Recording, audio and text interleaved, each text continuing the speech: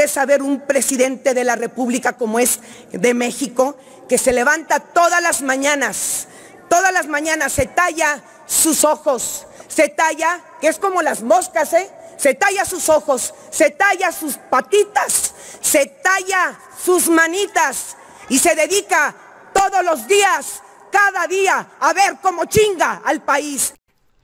¿Qué tal amigos? Un gusto saludarlo, espero tengan un excelente día, viernes 21 de octubre del año 2022. Gracias por sintonizar una emisión más de su canal Legión Política. Yo soy su amigo Francis. Iniciamos con la nota del día de hoy, en donde, al parecer, sale la clon en la Cámara de Diputados, la clon de Lili Telles, por gritona, porque injuria, porque insulta, porque descalifica, por todos esos perfiles que maneja la senadora Lili Telles, ahora resulta que la panista Geraldine Campuzano González sale a gritar y a insultar a nuestro presidente, hágame el favor, a nuestro presidente Andrés Manuel López Obrador. Efectivamente, Lili Telles es la clon, esta Campuzano González, todas las acusaciones, todas las descalificaciones que señalan, simplemente los mexicanos le, piden y les exige que las documente. Si está tan firme en sus acusaciones, prácticamente que lo presente y que no solamente use la tribuna solamente para injuriar, insultar y que no respete la vestidura del presidente del Ejecutivo de este país, nuestro México, porque a nuestro presidente lo respaldan millones y millones de mexicanos. Y no vamos a permitir a una más porque sin el Telles vamos a soportar, a tolerar este tipo de personas con ideologías que solamente agravan el perfil de la Cámara de Diputados y senadores, prácticamente los mexicanos exigimos que dejen de recibir un salario que solamente este, tratan de despotricar a nuestro presidente, que se pongan a trabajar, que hagan iniciativas, que hagan propuestas y que den resultados. Para eso se les paga y se les paga demasiado bien. Vámonos al video Aquí se los voy a mostrar para que vean la manera, la forma, la forma en que se dirige al presidente. Veamos. Gracias, Presidenta. Con su permiso. A nombre del Grupo Parlamentario de Acción Nacional, quiero expresar mi preocupación porque el día de hoy se presenta un dictamen donde los muy orgullosos diputados oficialistas declaran que no le cambiaron ni una coma, como si eso fuera motivo de orgullo. Déjenme decirles que sus proyecciones son solo ilusiones. Ni vamos a crecer al 3%, ni vamos a extraer diariamente el volumen de petróleo. Pero sí quieren que aprobemos un endeudamiento interno neto superior a un billón 170 mil millones de pesos, solo para pagar los intereses de la deuda que ya tenemos. Este es el gobierno que más ha endeudado al país. Se autoriza a Pemex un monto de deuda de 27 mil millones de pesos y para la CFE 13 mil millones de pesos. Lamentablemente no habrá suficientes recursos que para, y van a buscar recortar gastos. Nos dicen que los que tengan, que tendrán la elección los estados de decidir si sus secretarías de salud se quieren incorporar al IMSS. ¿Saben qué demuestra esto? El rotundo fracaso que ha sido el INSABI. Este tema ya les explotó a ustedes y al presidente. El mexicano gasta más de la mitad de su sueldo en medicinas y en doctores. Y aunado a la alza de la canasta básica, los mexicanos están en una crisis. Los mexicanos ya lo señalan a ustedes, diputados de Morena, ya lo señalan como los culpables de que en sus casas no hay ni medicinas ni qué comer. El IMSS está quebrado. Es prácticamente imposible que puedan atender a todos los mexicanos solo por decreto. No van a llegar los recursos pero sí hay subejercicios en las secretarías. Sí hay, y saben a dónde se van estos subejercicios, a las partidas secretas del presidente. Por eso no ejercen los recursos, los quieren gastar como quieren. En el campo, en mi querido estado de Durango, miles de personas dependen de la producción y comercialización del mezcal. De ahí que impulsemos nuevos esquemas de impuestos y traería beneficios a todo el campo mexicano. Se evita la evasión al fisco y sobre todo a los que, que, los intermediarios ya no estén haciendo su agosto a costa de los productores.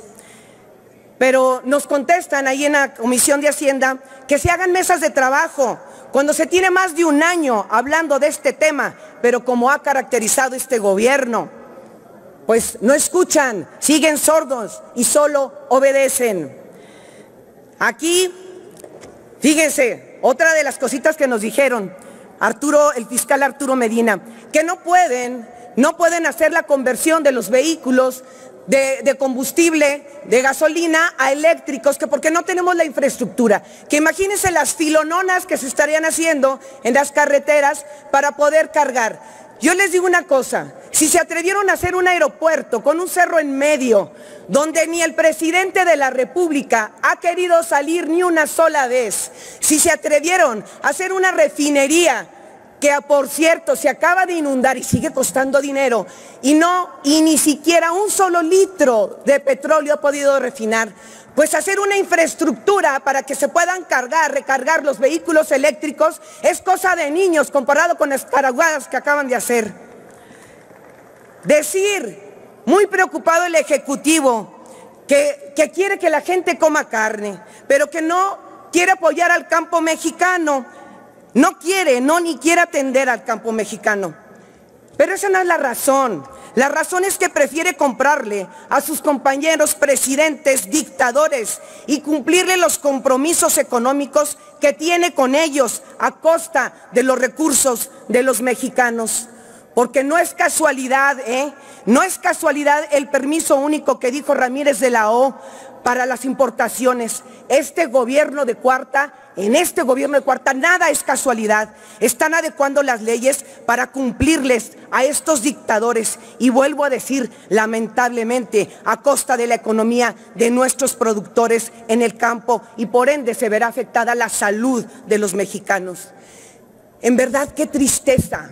Qué tristeza ver un presidente de la República como es de México, que se levanta todas las mañanas, todas las mañanas se talla sus ojos, se talla, que es como las moscas, ¿eh? Se talla sus ojos, se talla sus patitas, se talla sus manitas y se dedica todos los días, cada día, a ver cómo chinga al país. ¿Es cuánto, señor presidenta? Ah, qué palabrita se llevó. De verdad que Geraldine Campuzano se voló la barda. Nada más le voy a hacer dos recordatorios hablando de crecimiento de petróleo, del IMSS. Nada más dos le voy a recordar. Antes dice que estábamos bien, insinúa que estábamos mejor que ahorita. Estábamos antes tan mal que ya todos los mexicanos veíamos con normalidad que nuestra moneda se devaluara es más, vivíamos una permanente crisis desde el año de 1995. Hoy, estos opositores golpeadores les cuesta trabajo reconocer y aceptar que el peso mexicano está más fuerte y sólido que nunca. Y otro punto que le voy a decir a la panista Geraldine Campuzano, que no se le olvide, porque a nosotros no se nos ha olvidado en el 1996, el PRI, el Brody del PAN que ella representa, convirtieron una deuda de empresarios y banqueros, porque esta es una chica fresa, déjenme decirles. Un billón trescientos mil millones de pesos en deuda pública de los banqueros y empresarios. En 20 años se han pagado 600 mil millones de pesos. Escúchelo bien.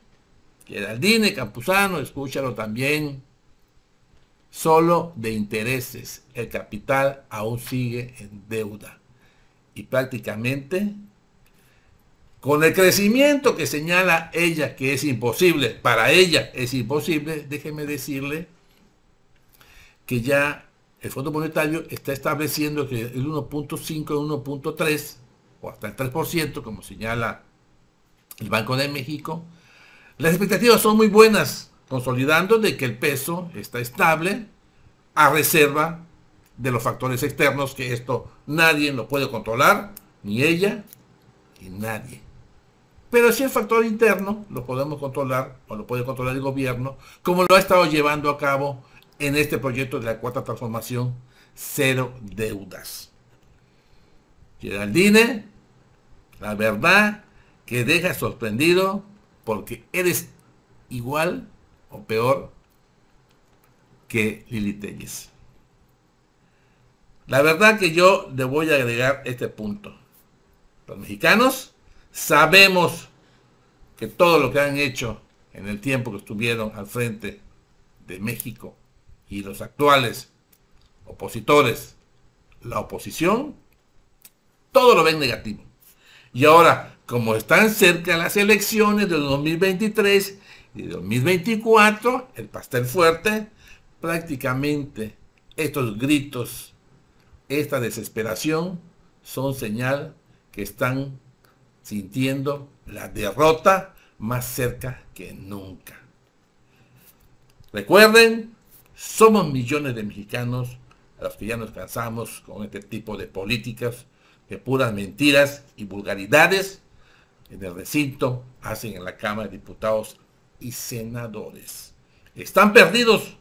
No van a ganar nada, que les quede claro. Están totalmente derrotados. ¿Cómo lo ven mexicanos? Ahí está. Conózcala bien. No la pierdan de vista. Geraldine Campuzano González, panista del estado por el estado de Durango. Yo aquí finalizo. Los invito a que compartan esta información, me regalen su poderoso like y que se suscriban a su canal Legión Política. Nos vemos en una próxima emisión. Adiós.